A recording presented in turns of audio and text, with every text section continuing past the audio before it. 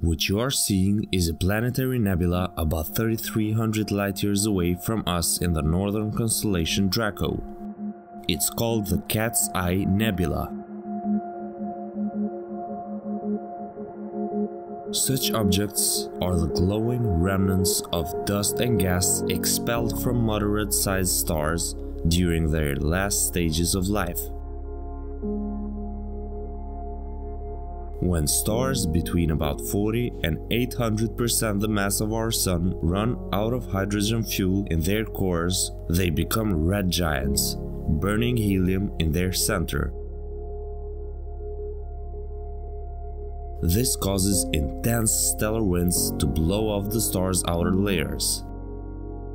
When the core runs out of helium to burn, the central region contracts to a white dwarf, producing intense ultraviolet light that brightens the expelled gas and ions.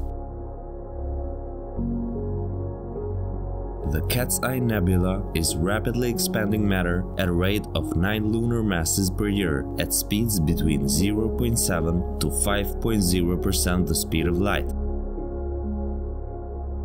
The central star is an O7 Wolf-Rayet type star about 10,000 times brighter than the Sun and with a radius only 0.65 times the Sun.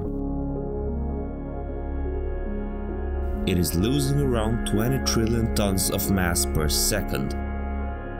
Observations suggest the star ejected its mass in a series of pulses at 1500 year intervals.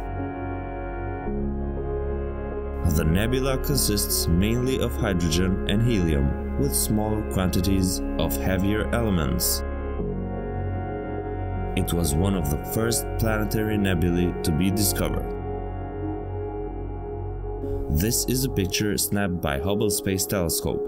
It shows the full beauty of a bull's eye pattern of about a dozen concentric rings around the Cat's Eye Nebula.